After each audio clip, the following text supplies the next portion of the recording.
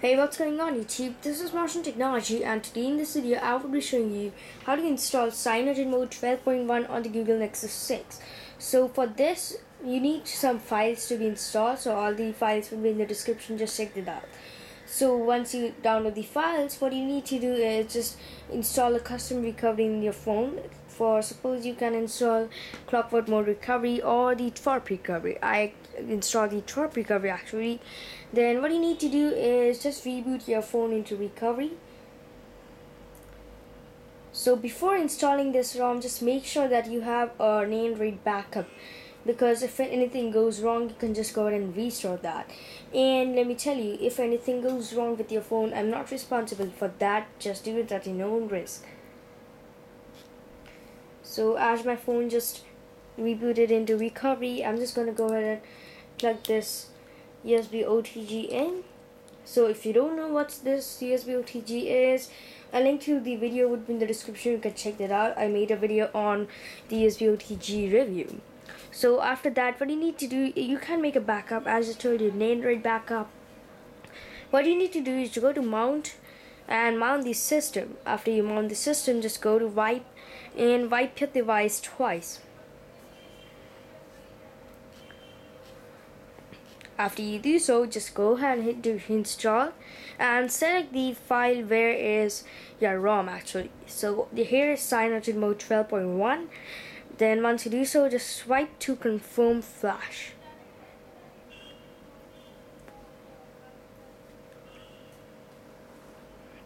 So it will take a couple of minutes to install so let me tell you if you don't have a quick reboot app as I rebooted my phone what you need to do is just power off your phone and hit the power button and the volume down button simultaneously to reboot your phone into recovery mode.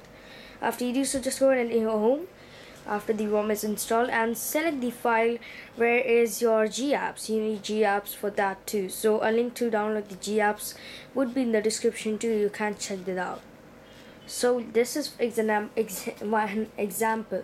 So if it doesn't mount your USB OTG just go ahead and reboot your phone into recovery once again.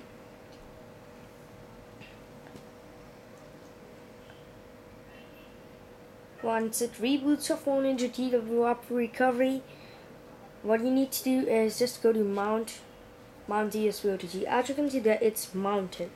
Just go to install select the file your GApps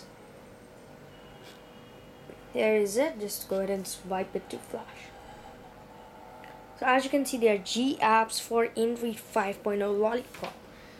So once it's installed what you need to do is reboot your system. Now you can unplug your USB OTG there you can see that Google logo and the unlocked sign and there you can see that CyanogenMod 12's official boot.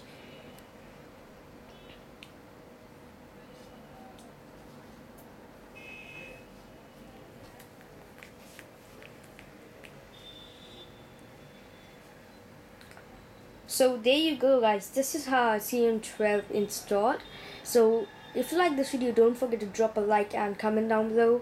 And just if you want if you have any query on how to install this ROM or any tech related questions don't forget to comment to my channel.